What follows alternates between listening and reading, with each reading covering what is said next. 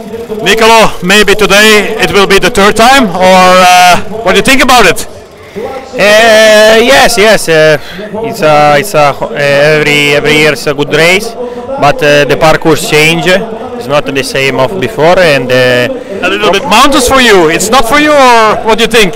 It's too heavy. no, the the parcours is it's okay for me, but uh, I am uh, come back after a stop period, and I have uh, accident with the car in the last two weeks, and uh, I lose uh, a lot of day, and uh, I try also today to to arrive at the sprint and uh, try to win in, uh, the third time.